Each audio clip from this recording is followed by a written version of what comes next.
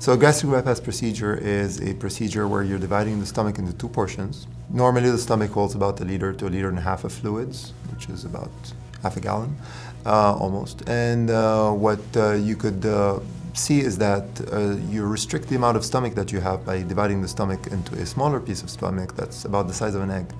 So you get that uh, egg-sized stomach connected to a piece of small intestine that you connect there so that the, flu the flow of the food would go from the mouth into the esophagus, into that piece of stomach, down into the small intestine. The fact of changing the anatomy of the intestines, which a lot of people are wondering why you would do that, it actually changes some of the signals that are in the um, gut and it allows your body to decrease your amount of hunger between meals. And also it has major impacts on the uh, situations like diabetes to the point where now we call it metabolic surgery and not just bariatric surgery.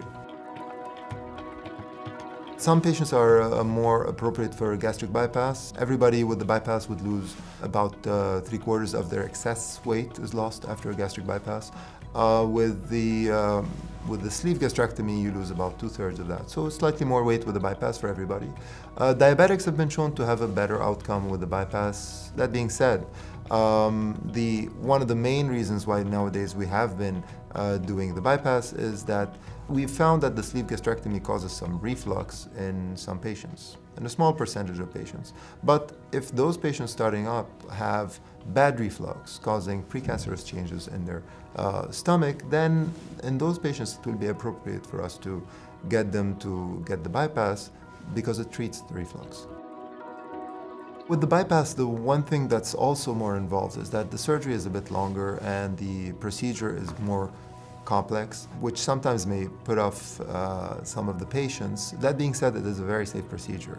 Even nowadays, we have uh, recent data from last year that came out and analyzed uh, the safety of those procedures. We're talking in the range of between the safety of gallbladder surgery versus appendix surgery. So it's really very, very safe. And it has a long track record of outcomes. So some patients actually decide on the bypass because they have, they want the gold standard of sorts. The most important thing for the patients to realize is that any of those uh, procedures carry risk. Uh, those risks are really low these days because we have, uh, we're part of a center that's specifically dedicated and audited on a regular basis. So it's very good, very important to actually make sure that your doctors are um, verified and that they are people that have received appropriate training to do these procedures. Um, the other thing is that um, what we do is that uh, we want to make sure that our patients are as informed as we can get them uh, because they need to be ultimately the decision um, makers of their own bodies